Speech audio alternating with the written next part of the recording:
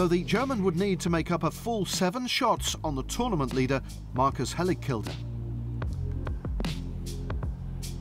The Dane began brightly enough, that his approach to the par 5 first, and that would result in a fairly straightforward two-putt birdie.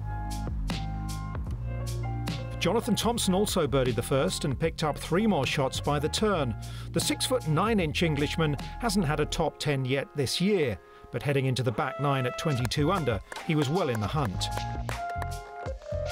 Nikolai Christensen closed to within two strokes of the lead with this long birdie putt at the sixth. And when another came at the ninth, the deficit was down to just one. But Helligkilde meanwhile remained unflustered, bouncing back from bogey at the fourth with a run of eight pars and two birdies. The latter here at the par 5 14th. Thompson missed the green at 18 but got up and down for par. The Englishman home and hosed at minus 24, as was Christensen.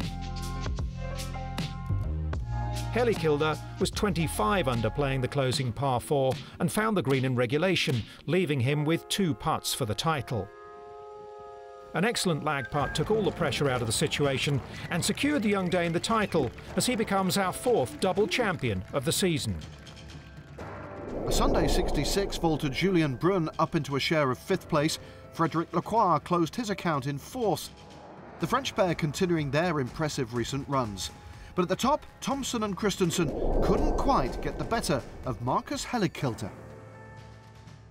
It's been a great week. There's been Danes out supporting me, and that's just been great. I'm so so happy that they came out and supported, and uh, to come out on top, that's that's just perfect.